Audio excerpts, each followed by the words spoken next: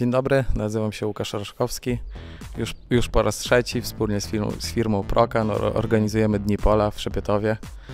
Y, W programie przewidujemy zwiedzanie poletek pszenicy i rzepaku. Towarzyszą nam także firmy Horsz, Agrocentrum, y, dystrybutor RSM-u. W programie także y, pokaz rozlewania RSM-u, a także pokaz pracy opryskiwacza polowego marki Horsz. Zachęcam wszystkich do zwiedzania poletek odmianowych. W tym roku szczególnie polecamy rzepak Aleksander i Hamilton. Po prezentacji polowej zapraszam do wspólnego biesiadowania i grillowania, a także na wielki finał wspólne oglądanie meczu Polska-Senegal. To jest odmiana stabilna. Ja ją sprzedaję sam osobiście co najmniej od 5 lat. Tak? Odmiana bardzo dobrej mrozotor- mrozoodporności to jest piątka. Tak? Bardzo ładnie się regeneruje, bo przeszedł dwie zimy, 2.12, 2.16 ostre, także mogę o tym powiedzieć. To odmiana stabilna, solidna, nadaje się też na późniejsze siewy, czy jak uprawiacie u Was pewnie bardziej po kukurydzach, gdzie indziej po burakach, także jest to ciekawa też odmiana do takiej uprawy. Jest wrażliwszy bardziej na brunatną blomę coś liści, czy trzeba kontrolować, ale tu grzybowo, że tak powiem, jest idealnie.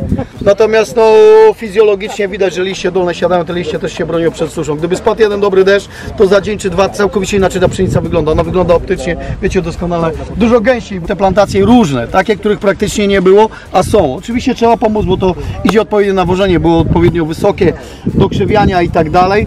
Poszła nawet dosyć duża dawka Medaxu Max, ale jak z Łukaszem rozmawiałem, miał spaść deszcz 20 mm, spadł 3, tak? Tego nie przewidzimy. Regulatory w tym roku zadziałały bardzo dobrze, a wiemy dobrze, że to jest najsłabsze ogniwo w technologii. Dlaczego? Bo były temperatury i szło zrobić zabiegi w czas. Nie?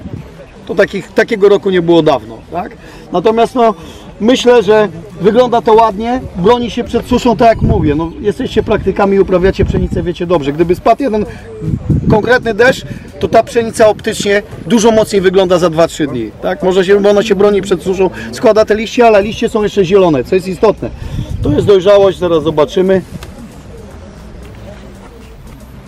No, ziarno jest wykształcone. Bo powiedzmy Norin jest wczesny, Emilio jest wczesny, tak? Paznokci, ale powiedzmy, zobaczcie Państwo. To nie jest tak wczesna odmiana. Ono ma ziarno w 90% wykształcone, tak? W tej chwili nabiera, liście są zielone, bo trzy liście powinny być zielone, tak? Ze względu na stusze niektóre odmiany pozrzucały, ale one są trochę wcześniejsze, także to też trzeba patrzeć na to z innej perspektywy, bo jak powiedzmy Norin jest 5 dni wcześniejszy, no to za 5 dni moglibyśmy tutaj oceniać Findusa.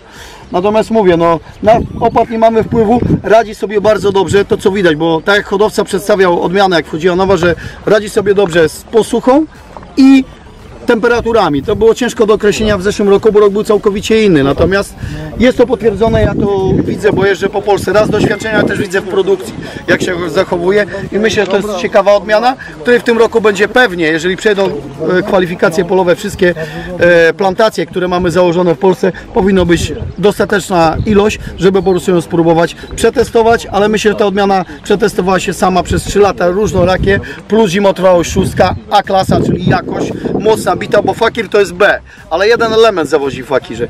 Białko, gluten, gdzie na doświadczeniach e, czy to PDO, czy rejestrowych, to nawożenie jest bardzo niskie, tak? Czyli tam u Was w produkcji, jeżeli to nawożenie stosujecie wyższe, on bez problemu będzie trzymał, mówię o fakirze, tak? Będzie trzymał te parametry.